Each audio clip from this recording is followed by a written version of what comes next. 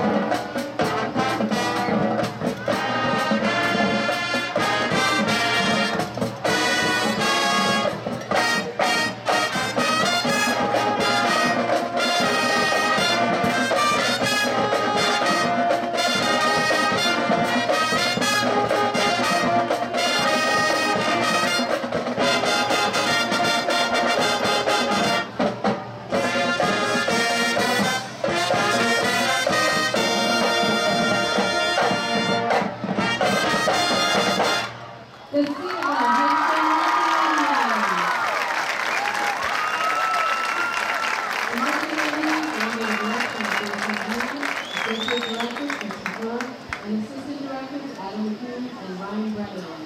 Tonight's show is written by Kris McClure. The band is conducted tonight by senior drum major Kate Delavo. Thank you, Charles, and the hospitality. Go